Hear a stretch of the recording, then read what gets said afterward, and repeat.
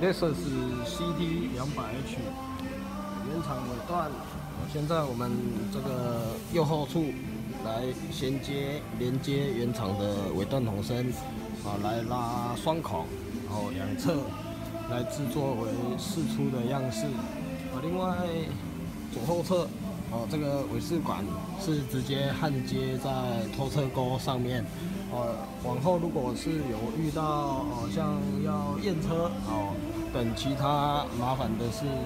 就是可以直接将拖车钩的部分来做拆除，哦，就成了单边，哦，非常便利。啊，在后车看的部分就完全是试出的样式。